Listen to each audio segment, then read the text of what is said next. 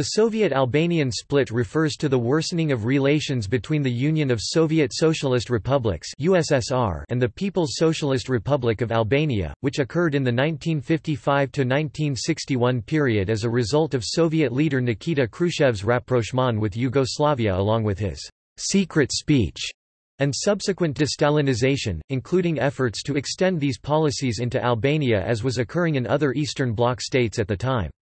The Albanian leadership under Enver Hoxha perceived Khrushchev's policies as contrary to Marxist-Leninist doctrine and his denunciation of Joseph Stalin as an opportunistic act meant to legitimize revisionism within the international communist movement. Occurring within the context of the larger split between China and the USSR, the Soviet-Albanian split culminated in the rupturing of relations in 1961. Origins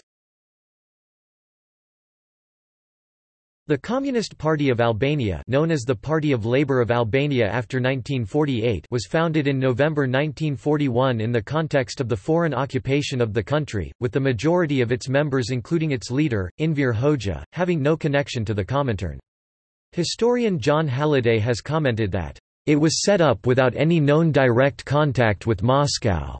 It was not at all a Moscow creation, the bulk of the founding leadership were middle-class intellectuals on whom the strongest influences were Western intellectual traditions. Albania furthermore was the only country in Eastern Europe, except Greece, which had liberated itself without the presence of the Red Army on its soil. A combination of these factors led Stalin to initially have been both curious and suspicious about the only leader of a communist regime in the Soviet bloc who escaped from any historical ties or contact with the Soviet Union." This, Halliday continues, "...was true not just of Hoxha as an individual, but of almost the entire leading group in Albania." Despite this, however, Hoxha was the quintessential Stalinist. Many of the descriptions Nikita Khrushchev used to denounce Joseph Stalin, could easily be applied to Enver Hoxha. Following Albania's liberation on November 29, 1944 the country's economic and foreign policies were dominated by its neighbour Yugoslavia under the leadership of Josip Broz Tito, and Albania became in the words of historian Miranda Vickers a «sub-satellite». During this period ties with the Soviet Union remained limited, though formal diplomatic relations were established in December 1945. Soviet Yugoslav split Within the leadership of the Communist Party of Albania tensions arose between pro- and anti-Yugoslav factions and personalities, with the former increasingly coming under attack by Koçi Xoxe, the head of the pro-Yugoslav faction. Hoxha was threatened on the basis of his opposition to the pro-Yugoslav line, as Xoxe's final goal was to overthrow Hoxha and to incorporate Albania into Yugoslavia as its seventh republic. The Soviet Yugoslav split in 1948, however, had allowed Albania to break from Yugoslav dominance, and it became the first state to side with the Information Bureau better known in the West as the Cominform with its resolution attacking the Yugoslav leadership for allegedly pursuing a road of nationalist deviation and capitalist restoration. From that point onwards relations between Albania and the Soviet Union remained quite close until March 5, 1953, when Stalin died. In the words of historian Nicholas C. Pano, by the beginning of 1949, Albania had progressed from the status of a sub-satellite to that of a full-fledged satellite of the Soviet Union. Albania became a member of Comecon in 1949 and the Warsaw Treaty upon its founding in 1955. In addition the Soviets built a submarine base at Vlora in 1952. Stalin's death In his memoirs Hoxha recounts the apprehension he and others had about the post-Stalin leadership, just days after Stalin's death. The way in which the death of Stalin was announced and his funeral ceremony was organized created the impression that many members of the Presidium of the Central Committee of the Communist Party of the Soviet Union had been awaiting his death impatiently.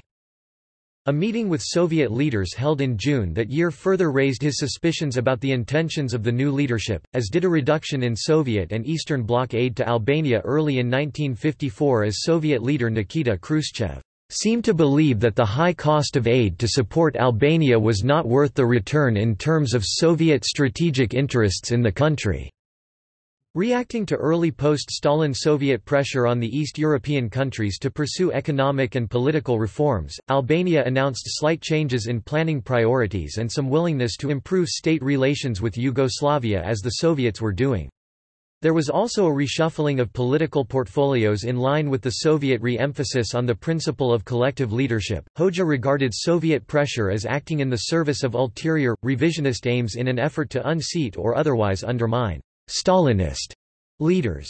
Thus in a meeting with Khrushchev on the issue of collective leadership, he recalled that Khrushchev told us that the other sister parties had been told of the Soviet experience of who should be first secretary of the party and who prime minister in the countries of people's democracy.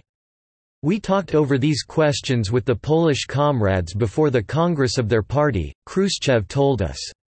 We thrashed matters out thoroughly and thought that Comrade Bierut should remain chairman of the Council of Ministers and Comrade Ochab should be appointed first secretary of the party.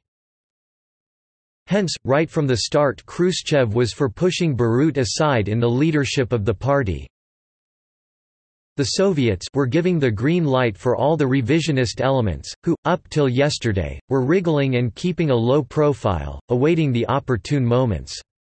Now these moments were being created by Khrushchev who, with his actions, stands and new ideas, was becoming the inspirer and organizer of changes and reorganizations. Beginnings of the split. John Halliday has noted that on the surface, relations between Moscow and Tirana seemed good right up to the late 1950s. But that Khrushchev's rapprochement with Yugoslavia in 1955 and his denunciation of Stalin in 1956 were the two main issues responsible for the deterioration of relations between the two states. In June 1954 Khrushchev sent a letter to the leaders of the parties of the Eastern Bloc in which the Cominform resolutions denouncing Yugoslavia in the 1948–49 period were criticized for allegedly forcing Tito and the rest of the Yugoslav leadership into the arms of the United States and Great Britain and had led to Yugoslavia's conclusion of a military pact with two NATO members. Hoxha, however, disagreed with this view, later writing that even if the Yugoslav leadership had been unjustly condemned in 1949, as Khrushchev was claiming, nothing could permit or justify its falling into the lap of imperialism. In May 1955 Khrushchev led a Soviet delegation to the Yugoslav capital of Belgrade with the aim of rehabilitating Tito, a move which encouraged reformist and dissident trends in Eastern Europe. The Albanian government had received a letter two days before the Soviet delegation was to leave Moscow. In it, the Soviets requested that the Albanians approve a statement drawn up by Khrushchev in the name of the Information Bureau even though he had not convened it. The move was refused by the Albanians on the grounds that there had been no change in the line of the Yugoslav leadership since it had been condemned by the 1948 resolution of Communist and Workers' parties represented on the Bureau. On May 25 the Central Committee of the Party of Labour sent a letter to its Soviet counterpart stating among other things that, "...in our opinion such a hasty and ill-considered decision on an issue of great importance and of principle," was conducted, "...without first making a profound analysis together with all the parties interested in this issue." With only Albania among the Eastern Bloc states opposing Khrushchev's move, the Soviets succeeded in unilaterally rehabilitating Tito's standing within the international communist movement and apologized for past Soviet activities in relation to Yugoslavia.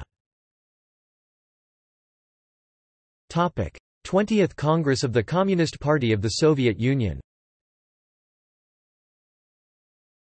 At the 20th Congress of the Communist Party of the Soviet Union in February 1956 Khrushchev issued, in addition to his main report, his secret speech denouncing Stalin. Hoxha later remarked of the Congress that, in addition to its attack on Stalin, all the distortions of the major issues of principle, such as those about the character of our epoch, the roads of transition to socialism, peaceful coexistence, war and peace, the stand towards modern revisionism and towards imperialism, etc., etc., which later became the basis of the great, open polemic with modern revisionism, have their official beginning in Khrushchev's report to the 20th Congress, we saw how the Khrushchevites, in order to consolidate their power, operated allegedly with a great party spirit, free from the fear of Stalin. Every good thing of the past was distorted, allegedly in light of the new situations, new developments, new roads and possibilities, in order to go ahead. A notable event at the Congress was the promotion of the policy of peaceful coexistence by Khrushchev, which officially was a policy to increase East-West collaboration against the threat of nuclear war, but which anti-revisionists believed was merely a way to divide the world into spheres of influence inside which each side would enjoy unquestioned supremacy. One anti-revisionist author described Khrushchev's policy as follows. Khrushchev made it clear that he was prepared to give up international class struggle, renouncing on behalf of the colonial peoples any right to liberate themselves from oppression and reassuring capitalist governments by emphasizing peaceful transition to socialism or the parliamentary road. He then quoted Khrushchev as saying that if any madman wanted war, we the Soviet Union and the United States, the two strongest countries in the world, would have but to shake our fingers to warn him off. Third Congress of the Party of Labour of Albania One of Tito's preconditions for improving relations with the Soviets was for a Soviet-backed removal of «Stalinist» Leaders in Eastern Europe, such as Matyas Rákosi of Hungary and Valko Chervenkov of Bulgaria, Hoxha was also an obvious target for removal due to his intransigent position on Yugoslavia. The Soviets sought without success to force Hoxha to rehabilitate Koçi Xoxe. In April 1956 a party conference was held in Tirana. Various delegates, inspired by Khrushchev's actions, attacked the line of the Party of Labour, calling for a review of the case of Xoxe along with other political and economic policies and phenomena. However, Hoxha entered the conference and managed to defeat these proposals.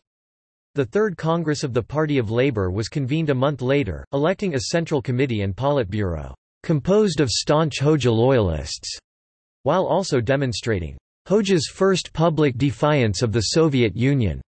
By refusing to rehabilitate Xoxe and other persons linked with, or otherwise supportive of, rapprochement with Yugoslavia, although the Third Party Congress did not openly criticize the 20th Party Congress of the CPSU in part because the real aims of the Soviets were still not fully recognized, and there was a perceived need to keep intact the unity of the international communist movement, it did declare that the line of the Party of Labour which had been followed up to now has been correct, and thus tacitly rejected Khrushchev's de-Stalinization policies. Following the Hungarian uprising in November 1956, relations between Albania and the Soviet Union improved somewhat due to Yugoslavia's part in the event, which caused friction in Yugoslav-Soviet relations. On November 7 Hoxha wrote an article for Pravda denouncing Tito for encouraging the activity of the rebels, though the Soviets rebuked Hoxha for his harsh tone soon after. Soviet efforts to improve relations with Yugoslavia resumed before long, prompting a further deterioration in Soviet-Albanian relations. 1957 plenum In a February 1957 speech to a plenum of the Central Committee of the party subsequently published in the newspaper Zëri i Popullit, Hoxha defended Stalin's legacy and attacked the Yugoslavs but not the Soviet leadership by name. He added that, "...in blackening Stalin, the enemies are not concerned about him as a person, but their aim is to discredit the Soviet Union, the socialist system, and the international communist movement, consequently, to undermine the workers' faith in socialism." As a result of the February plenum of 1957, which was seen as directly rebuffing many post-Stalin Soviet views, the Soviet leadership invited Hoxha to visit Moscow in April that year allegedly for consultations. Instead, Khrushchev called on Hoxha to rehabilitate and reinstate party members who had been sacked for their support of Yugoslavia and the theses of the 20th Party Congress. Hoxha refused. In response to this Khrushchev accused Hoxha of sectarianism and of being hell-bent on pursuing Stalinist policies. Hoxha later recalled the meeting as follows, Khrushchev advised the Albanians to improve their relations with Yugoslavia, to which Hoxha replied, we have always wanted to have good relations with Yugoslavia, but to put it bluntly, we do not trust the Yugoslav leaders, because they speak against the social system in our countries and are opposed to the foundations of Marxism-Leninism. In all their propaganda, they do not say one word against imperialism, on the contrary, they have joined the chorus of the Western powers against us." He once more said that the Yugoslav leadership failed to understand any of its grave mistakes and deviations, to which Khrushchev replied that Yugoslavia did not betray Marxism-Leninism though it had slipped from its positions. According to you, Khrushchev continued, we ought to return to what Stalin did, which caused all these things we know about. Quote, the meeting became increasingly acrimonious and when the subject of rehabilitating disgraced Albanian politicians came up Khrushchev eventually concluded, You are like Stalin who killed people. To which Hoxha replied, Stalin killed traitors, and we kill them, too. Trade In an effort to persuade the Albanian leadership to reconcile itself with the Soviets, the USSR gave a credit of $160 million ruble loan to Albania in late 1957 for Albania's third five-year plan and among other things forgave $105 million in past debts Albania owed the Soviet Union. These efforts proved unsuccessful in persuading the Albanians to change their course. James S. O'Donnell remarked that the Soviets, then in an early stage of the Sino-Soviet split, may have also tried to demonstrate Soviet generosity in an effort to counteract the amount of trade Albania was conducting with the People's Republic of China. Albania's passive trade balance with China had grown from 4.2% in 1955 to 21.6% in 1957. Moscow Conference Relations between the Soviet Union and Yugoslavia deteriorated further following Tito's refusal to attend the 1957 International Conference of the Communist and Workers' Parties, the goal of which was to establish the general line and common positions of the international communist movement. As Hoxha later wrote, Khrushchev and co. made feverish efforts not only to ensure that the League of Communists of Yugoslavia would take part as a party of a socialist country, but if possible also, to ensure that Tito would reach agreement with Khrushchev over the platform, each side wanted to exploit the meeting for its own aims, Khrushchev, to declare unity, even with painful concessions to satisfy and draw in Tito, while the latter, to urge the others to openly and finally abandon Marxism-Leninism, the struggle against modern revisionism and any principled stand. The Albanian delegation led by Hoxha worked with the Chinese and other like-minded delegations to the conference in drafting a declaration alongside the CPSU and the pro-Soviet parties, with the resulting document being described by some Western observers as a compromise. Historian William E. Griffith wrote that the statement leaned strongly toward the Russian position but usually was sufficiently ambiguous so that the Chinese and Albanians could and did interpret it in their favor. In a notable example, the Albanian and Chinese view that revisionism was the principal danger in the communist world existed alongside the Soviet view that the 20th Party Congress opened a new stage in the international communist movement.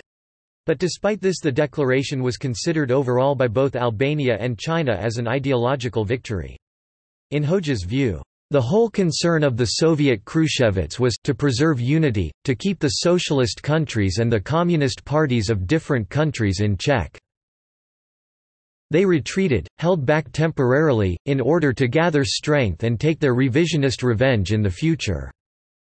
O'Donnell states that after the Moscow Conference any trouble in Soviet-Albanian relations was kept strictly private until June 1960. The split deepens At the end of 1958 Comecon had begun to push for what was later termed an «international socialist division of labor». in which Albania was relegated to the task of supplying the member states with agricultural and mineral raw materials.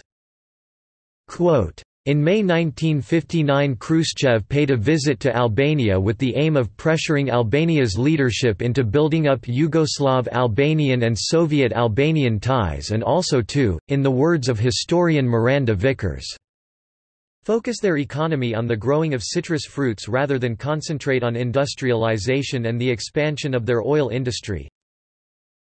Khrushchev's visit was clouded by an atmosphere of mistrust, which culminated in a hurried departure two days earlier than scheduled.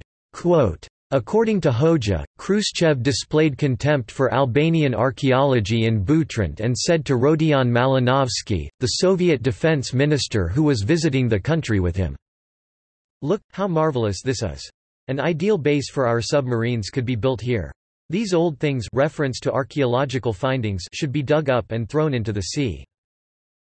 We shall have the most ideal and most secure base in the Mediterranean. From here we can paralyze and attack everything." Quote, he was also said to have remarked to Hoxha to turn his country into a flourishing garden suggested he make it an attractive holiday spot for Soviet tourists, and that rather than produce grain, Albania should focus on growing oranges for export. Khrushchev allegedly said, the Soviet Union has such an abundance of grain that the mice eat more than you can produce here. By the beginning of 1960 Albania and China had concurred on such questions as Yugoslav revisionism, global strategy, and de-Stalinization, and the Albanian leadership made little secret of their sympathies for the Chinese stand. Quote, with the Sino-Soviet split also deepening the Soviet leadership began applying its first signs of economic pressure on Albania in March 1960, stating its intention to alter a scholarship agreement for Albanians to study in the USSR in which the Soviets paid 60% of tuition costs and upkeep for the students. This threat was subsequently retracted on the eve of the Bucharest Conference in June that year, possibly in an attempt not to push Albania further into the Chinese orbit. Early in June, however, Khrushchev met with Greek politician Sophocles Venizelos and reacted positively to the latter's suggestion of greater autonomy for Greeks in Albania. O'Donnell comments that the obvious purpose of this discussion was to infuriate Enver Hoxha as Albanian-Greek relations were strained at this time. It became known that Khrushchev had hinted to Venizelos that the Soviet Union would not be against territorial and or political concessions to the Greeks by the Albanians. It is likely that Khrushchev used the meeting with Venizelos as a way to pay back Hoxha for snubbing him during his visit to Albania. Griffith comments that Hoxha viewed this move by Khrushchev as an implicit threat to partition Albania, the overwhelming traditional fear of all Albanian nationalists, Topic. Bucharest Conference At the opening of the Bucharest Conference on June 21, 1960, which was held on the occasion of the Third Congress of the Romanian Workers' Party, Hoxha was not among the various heads of communist parties and states in attendance. Politburo member Hysni Kapo took his place. The stated purpose of the conference was to have the character of a preliminary meeting of the representatives of the Communist and Workers' parties, mainly for the purpose of exchanging opinions and taking a joint decision on the date and place of a future meeting of the Communist and Workers' parties of the world. Quote, in his memoirs Hoxha describes the conference as being a putsch and adds, the revisionist renegades needed another meeting of international communism to gain approval for their old plan for the final legitimization of modern revisionism. He did not attend because we suspected that the problem of the differences which had emerged between China and the Soviet Union would be discussed. We had heard only one side of the argument, the Soviet side, and we were not acquainted with the objections of the Chinese. They had to be thrashed out thoroughly, they had to be studied carefully, and time was required for this. Therefore our party sent Comrade Hysni Kapo to Bucharest to discuss only the date of the future meeting. For decisions besides this date were not to be taken at the conference itself, in the words of Nicholas C. Pano. Khrushchev attempted to transform the Bucharest Conference into a communist summit meeting for the purpose of securing the condemnation of the Chinese with Kapo being the only representative of a European party. to refrain from criticizing Peking, to attack Yugoslav revisionism, and to refuse to alter his stand on the Chinese and Yugoslav issues despite Soviet pressure. Khrushchev's hopes of bringing the Albanians to heel by means of peaceful persuasion were certainly shattered by the time the Bucharest Conference had come to an end. Quote, during the conference Hoxha communicated with Kapo via radiogram, stating for instance on June 24, in response to a lengthy document distributed at the conference by the Soviets attacking the Chinese. When you make your speech at the meeting you should declare, I am not authorized to make statements on these matters because our leadership knows that these matters will be discussed at the forthcoming meeting of representatives of the parties, as we have all agreed. We understand your difficult situation, but don't worry at all, for we are on the right road. Topic. Hostilities After the conference ended Khrushchev stepped up economic pressure on Albania, delaying a reply concerning 50,000 tons of requested grain to offset an acute food shortage caused by drought, and then issuing significant reductions in the amount of grain shipments. According to an Albanian account, the Soviet Union began to cut systematically all economic aid to Albania.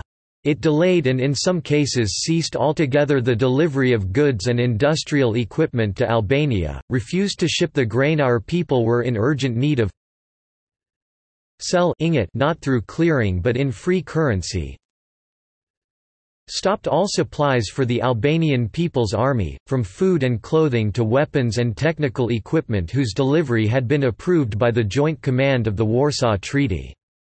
The countries of Eastern Europe, too, set out on the course of aggravating relations with the PRA People's Republic of Albania and created a difficult situation by setting up a blockade on Albania jointly with the Soviet government.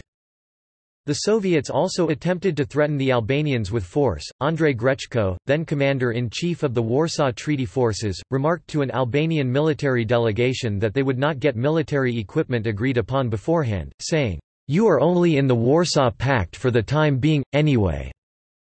Attempts were made to inoculate anti-government views in Albanian students studying abroad in the USSR and to convince the armed forces to go against the government. According to an Albanian account, the Soviet embassy in Albania also carried out intensive diversionist activity in order to create an atmosphere of uncertainty and ideological confusion about the correct line of the PLA Party of Labour of Albania. Quote, in July a military plot headed by Soviet-trained Rear Admiral Teme Sejko was uncovered and the plotters executed.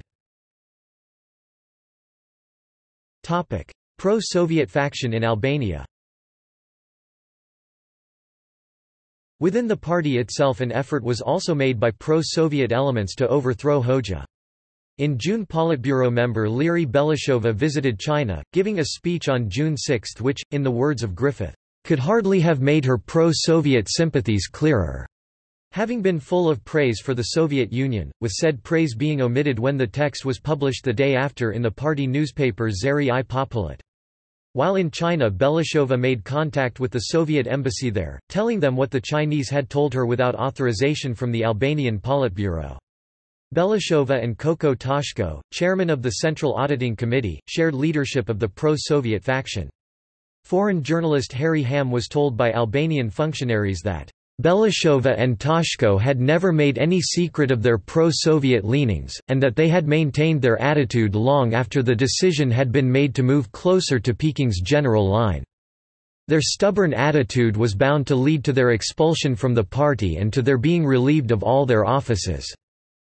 Tashko, asked to speak on his own behalf, had his text prepared beforehand by the Soviet embassy and, having gotten confused, accidentally read the punctuation mark for a full stop in Russian amid a burst of laughter from those present. Both Belishova and Tashko were expelled from the party in September. International Conference of the Communist and Workers' Parties In October 1960 a preparatory commission for the upcoming International Conference of the Communist and Workers' Parties scheduled for November that year was held from October 1 to 21, with the Albanian delegation being led by Hysni Kapo and Ramiz Alia. Alia later recalled that, The aim of the Soviets was to ensure that our party did not come out against their party and Khrushchev, did not bring the fight out in the open, and speak about Bucharest and the contradictions which existed.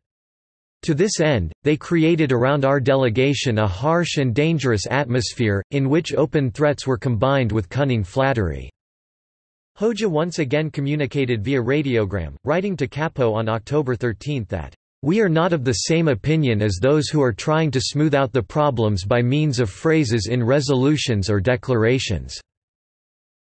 We are for carrying the matter through to the end.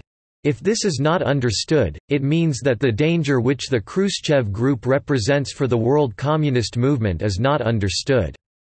It does not depend on us whether this group should continue in power or not, but it is essential that we, should expose this group with Khrushchev at the head, as they deserve, we shall not allow ourselves to be impressed by those who say, how can one attack the glorious Soviet Union or the great Communist Party of Lenin for the faults of a few rascals? We say, precisely to defend the Soviet Union and the Party of Lenin, these rascals must be exposed, and there must be no toning down of criticism or covering up of the deviationists. On October 22, after the work of the commission had ended, Khrushchev invited the delegates to a dinner which, according to Alia, was used to threaten those parties which might oppose the line of the Soviets in November. He gave as an example an exchange between Soviet Politburo member Yekaterina Furtseva and Kapo, in which the former asked, Are you Hysni Kapo? I've heard so much about you. Kapo replied, For good or bad? To which Furtseva stated, You have attacked the Soviet Union, but you are heading for trouble on that course. Getting the reply she deserved. From Kapo, with Alia further writing that her mission was just to transmit the signal.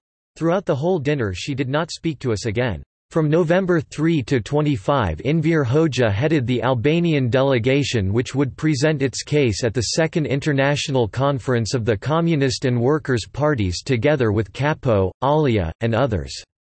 Alia later noted, the Soviets' aim was to ensure that Comrade Enver did not speak openly in Moscow, that, at the most, he should restrict himself to general criticisms on a theoretical plane. They brought all-sided pressure to bear on our delegation.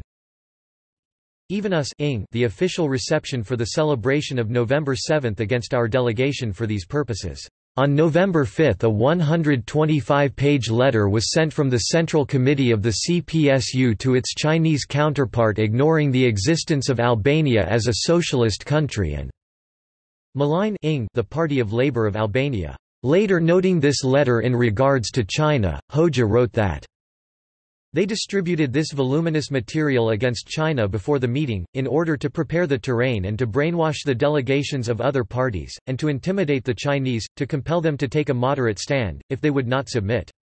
This anti-Chinese material did not surprise us, but it strengthened the conviction we had in the correctness of the line and the Marxist-Leninist stands of our party in defense of the Communist Party of China. On November 10, 1960 the Second International Conference of the Communist and Workers' Parties was convened. As Hoxha recalled, in his speech Khrushchev expressed the revisionist views completely and attacked the Communist Party of China and the Party of Labour of Albania, as well as those who were going to follow these parties, but without mentioning any names wanted to keep all the communist and workers' parties of the world under his conductor's baton, under his dictate. On November 12 a private meeting was held between members of the Albanian delegation including Hoxha and members of the Soviet leadership, which showed that no compromise between them was possible. Quote, During the meeting Hoxha noted that the Soviet ambassador to Albania has asked to whom the Albanian army will be loyal. This question he addressed to our generals at the airport, in the presence of one of your generals. Our officers replied that our army would be loyal to Marxism-Leninism, to the Party of Labor and Socialism. Khrushchev replied, If our ambassador said such a thing, he was foolish. Hoxha in turn replied, He was no fool. He committed this foolishness following the Bucharest meeting. Quote, the subject eventually came to the Vlora naval base, which was the subject of a Soviet-Albanian dispute to become acute months later. Khrushchev threatened Hoxha, saying, we can dismantle the base if you like. Hoxha replied. If you dismantle the base you will be making a big mistake.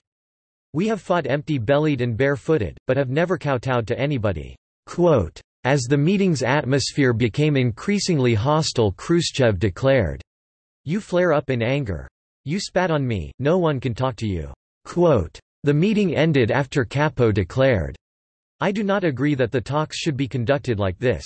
Hoxha delivered his speech to the conference on November 16. He spoke of the tremendous Soviet pressures to which the Albanian party and government had been subjected after the Bucharest meeting.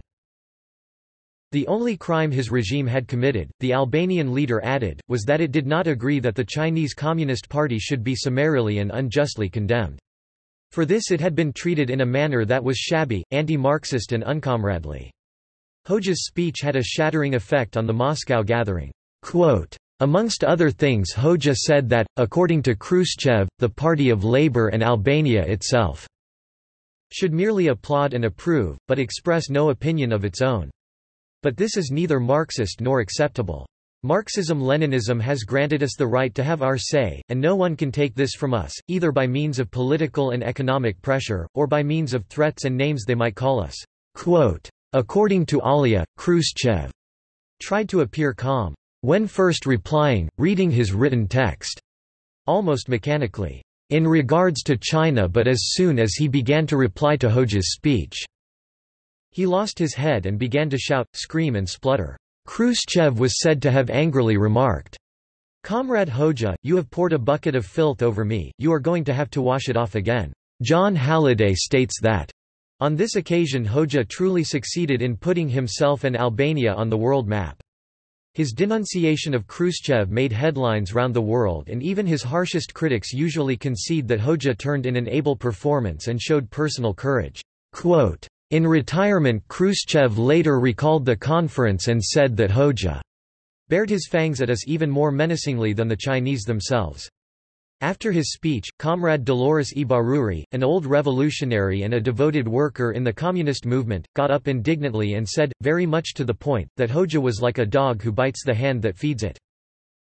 Alia relates that during the conference a Soviet security officer had said to both him and Kapo that the Soviet leadership might have been contemplating Hoxha's assassination. For this reason, as Hoxha relates in his memoirs, the Khrushchevites were capable of anything and we took our own measures. Hysni and Ramiz stayed on in Moscow, as they had to sign the declaration, while Hoxha left the Soviet Union by train and Arrived in Austria, went down by train through Italy and from Bari returned safe and sound to Tirana on our own aircraft and went directly to the reception organized on the occasion of the 28th and 29th of November. At the conference itself the Albanian delegation played a leading role together with its Chinese counterpart in giving the draft declaration Marxist-Leninist content. And that, despite serious flaws in the view of these delegations, the declaration eventually signed by the 81 parties was a repudiation of revisionist theses and condemned the Yugoslav form of international opportunism which is a concentrated expression of the theories of modern revisionism. The Soviet revisionists and the revisionists in other countries and parties demonstrated in the view of Albania and China their opportunistic character by completely disregarding the principles set forth in a document they had found it expedient to sign. On December 19 Hoxha delivered his report to a plenum of the Central Committee of the party concerning the Moscow Conference, remarking on the mutual defences Albania and China provided for each other at Bucharest and Moscow and adding, in the future our party will strengthen its ties and friendship with the Communist Party of China and the Great Chinese people, always upholding the teachings of Marxism-Leninism and the correct line always pursued by the Central Committee of our party. Topic. Culmination At the Fourth Congress of the Party of Labour held in February 1961 Hoxha declared—although still not mentioning the Soviets by name—that during the past few years, our party and other Marxist-Leninist parties have waged a successful struggle against the views of modern revisionists. But in spite of all the crushing blows and defeats it has received, revisionism, remains the main danger to the international communist movement. A resolute and uncompromising struggle must be waged against revisionism until it is utterly destroyed." According to an Albanian account, Right after the Fourth Congress of the PLA, when it became clear that its attempts at imposing its will on Albania were futile, the Soviet leadership cut off all the credits envisaged in the agreements between the two countries. The Congress, which was the last one in which Soviet and East European representatives from other parties would attend, confirmed that the rift with Russia was almost complete and the alliance between China and Albania an accomplished fact. On January 20 that year the Soviets announced that their oil specialists would be withdrawn within a 7 to 10 day period. The Albanians later claimed that the specialists had sabotaged Albania's oil installations before departing. Although Khrushchev had symbolically delivered blueprints for the Palace of Culture of Tirana on the occasion of his 1959 visit, all Soviet construction efforts on it ceased by April 1961. A shipment of materials for the palace, which arrived in Durrës, was withdrawn at once on the pretext that the materials had been loaded by mistake and were not really intended for Albania. On April 23 a Sino-Albanian trade agreement was concluded. Soviet First Deputy Premier Alexei Kosygin sent a letter five days later which effectively signaled an end to Soviet-Albanian trade agreements. Among other things it stated that it is understandable that the Albanian leadership cannot expect in the future that the USSR will help it as it has in the past, with aid from which only true friends and brothers have a right to benefit. On August 19 the Soviet ambassador to Albania left Tirana and was never to return. On August 26, only five days before the beginning of the fall semester, the Soviets cancelled scholarships for Albanian students studying in the USSR, these students given a deadline to leave by October. An Albanian account of the economy during this period states that the foreign specialists left unfinished about 40 important objects of the second five-year plan in the industrial sector alone. Difficulties increased even more after the cessation of military aid. Thus in the first years of the third five-year plan the fulfillment of the plan in many sectors of the economy was made very difficult and to a certain extent the development of the Albanian economy as a whole was impaired. Military pressure was stepped up still further, during summer. The training of all Albanian officers, cadets, and noncoms in the Soviet Union or the East European satellite countries was brought to a stop. Since then, there has been not a single Albanian studying at a military academy in the Eastern Bloc. It has been impossible, therefore, for the Tirana government to keep its army up to date on military theory. Quote, in March Albania had not been invited to attend a meeting of the Warsaw Treaty States. Hoxha later recalled that when we returned from Moscow in November 1960, the provocations at the Vlora submarine base were increased and in order to exert pressure on and impress us, the Soviet Deputy Foreign Minister, Firyubin, came to Tirana with two other deputies, the first Deputy Chief of the General Staff of the Soviet Army and Navy, Antonov, and the Deputy Chief of the Supreme Staff of the Soviet Navy, Sergeyev. They came allegedly to reach agreement, but in fact they brought us an ultimatum, the Vlora base must be put completely and solely under Soviet command, which was to be subordinate to the Commander-in-Chief of the Armed Forces of the Warsaw Treaty. An Albanian account describes the dispute as follows. By violating the formal Albanian-Soviet agreement signed in September 1957 and May 1959, the Soviet government did everything in its power to put under its control this Albanian base which at the same time served the defense of the socialist countries. On April 5, 1961, in a letter addressed to the governments of the Soviet Union and the East European states it resolutely reaffirmed that it accepted only one solution of the problem, the base of Vlora belonged to Albania and all the naval means that were its property should be handed over to Albanian crew as soon as possible. Any other solution was an act which would lead to the unilateral violation on the part of the Soviet Union of the existing Albanian-Soviet agreements of the years 1957 and 1959. Quote, in May 1961 the Soviets began dismantling the base and tried to seize the submarines, seizing some Albanian ships undergoing repairs at Sevastopol in the process. As the Albanian account describes it, the Soviet sailors and officers carried out numerous provocations, trying by all manner of means to create a pretext for the Soviet military intervention in Albania. On May 26, 1961 it seized in a demonstrative manner eight submarines, the floating base Kotelnikov, as well as the Albanian warships that were laid for repair in the port of Sevastopol.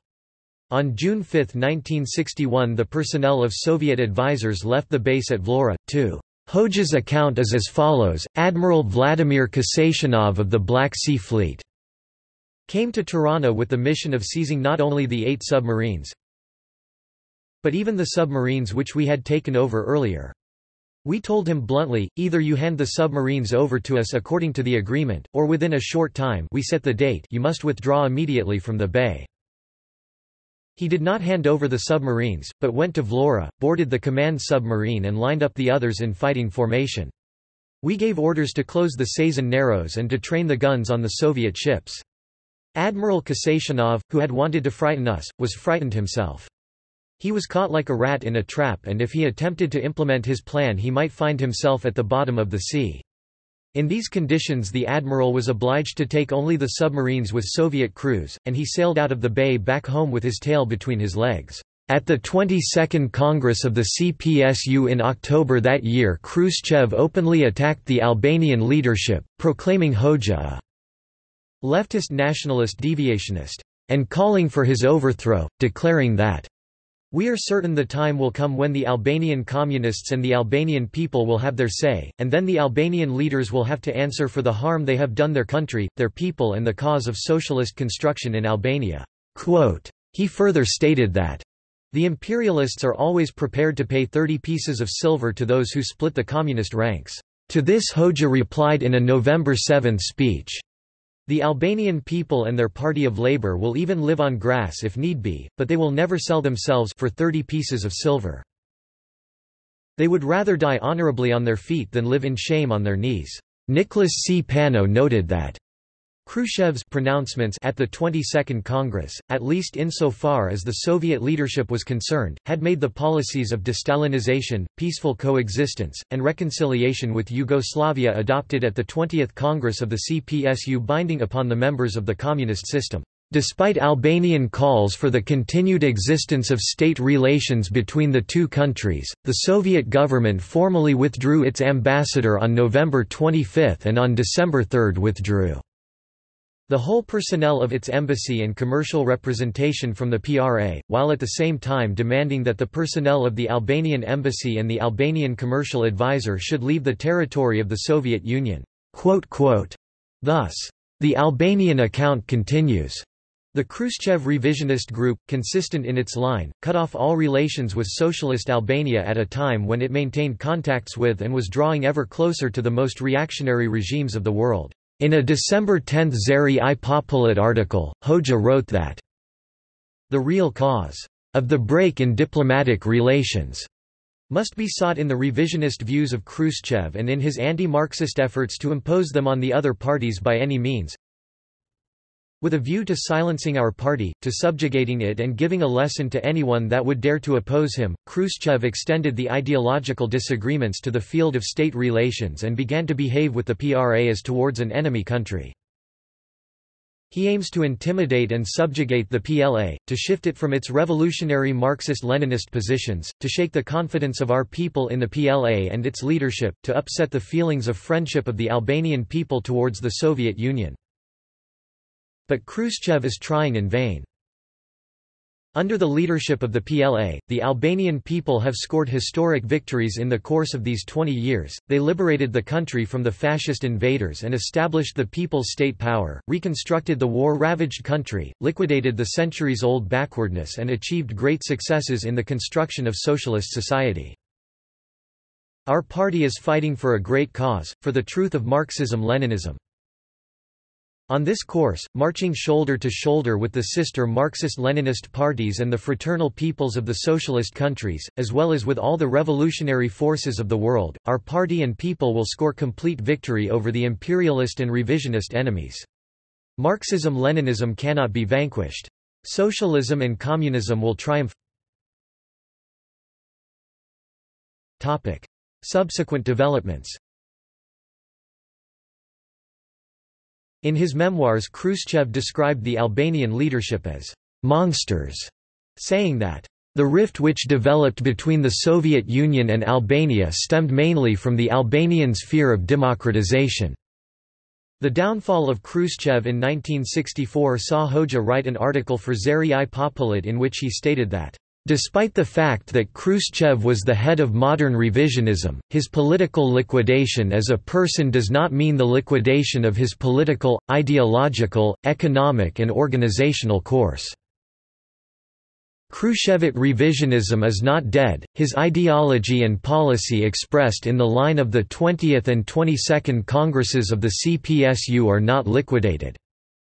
In the view of William Ash, writing in support of the Albanian position, the final proof of the correctness of Albania's characterization of Soviet revisionism came with the invasion and military occupation of Czechoslovakia in 1968, Khrushchevism without Khrushchev, since Brezhnev who succeeded the deposed revisionist leader followed the same line. An Albanian account discussing the invasion notes that Albania resolutely denounced this act, calling it an aggression of the fascist type which represented the greatest debasement of the honor and authority of the Soviet Union and the Soviet people on the part of the Khrushchevite revisionist Brezhnev-Kosygin clique.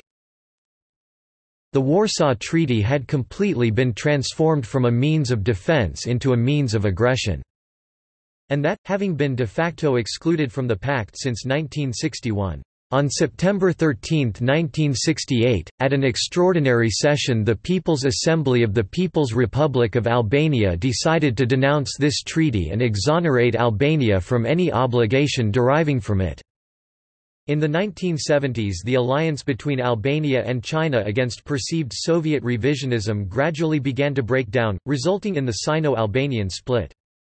Writing in 1988, Ramiz Alia reiterated the Albanian view that the revisionist current most dangerous to the world communist movement has been and still is Soviet revisionism. And that, to oppose the Communist Party of the Soviet Union, which had great political and theoretical authority, meant to isolate oneself, at least for a time, from most of the communist parties of the world. Precisely here lies the heroism of the Party of Labour of Albania, the majesty of its decision, and its courage and determination for the cause of Marxism-Leninism, for the cause of socialism and communism. In July 1990, after the fall of the Eastern Bloc and political upheaval in Albania itself, Alia announced the restoration of diplomatic relations with the Soviet Union. In an official communique the Soviets attributed the normalization of diplomatic relations to the better political climate in Europe, and the state radio reported that, as the Soviet Union was on course for reform, there has been a marked trend recently towards democratization of Albanian society. In June 1991 the ruling Party of Labour became the Social Democratic Socialist Party, dropping its prior commitment to Marxism-Leninism, and in December 1991 the Soviet Union was dissolved. Notes. References. Books